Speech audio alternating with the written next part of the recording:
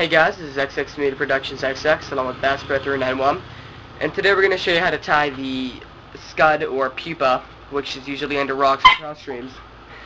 oh my uh, excuse me.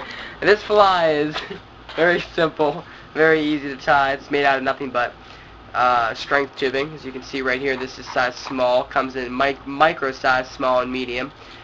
Uh, I like to use red, Ultra Thread 70 uh, 6.0, some people call it thread. Real nice and thin, it gives it kind of like a nice reddish, uh, clean, clear silver color under the water. And of course, you got your whip finish, your bobbin, and your pair of scissors. So to start off this fly, I got a size 14 dry fly hook here, or nymph, I mean. This is a nymph hook. I'm just going to get my Ultra Thread 70, and I'm going to give it just a nice little wrap back to the uh, bend of the hook. And I'm going to make a nice another little wrap up.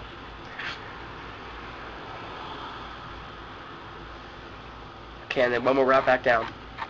It's going to be like the underbody of the fly. We want to build it up, make it look big. Okay, now I'm going to pull out my stretch tubing here. This comes in a about, uh, I'd say, 2-3 feet when you buy it. I've cut it out pretty bad. It's just, you know, it's a real elastic string, or it's a real elastic plastic thread. So I'm just going to cut about it two inches off. Like so right there. I'm just going to attach this in now.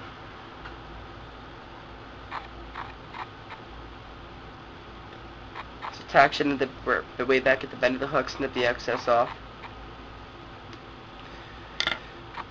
Wrap my thread all the way back up to the eye of the hook. And then you just start wrapping. And I like to wrap double, one right over top of the other. Give the fly a nice little body.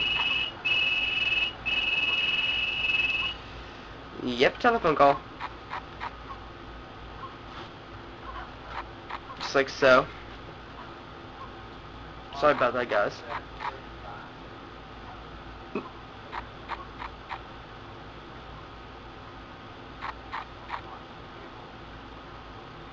Okay.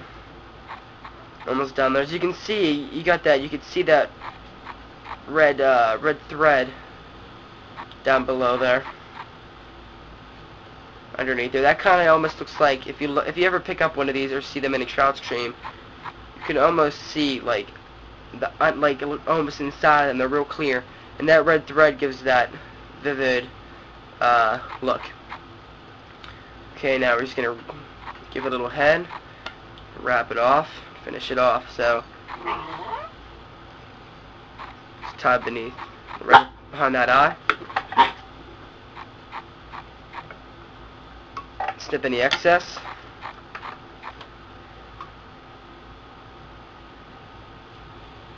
Okay, let me wrap my bobbin up here. Get that real close to the eye, get a nice fine wrap. Okay, now we're just going to whip finish this off.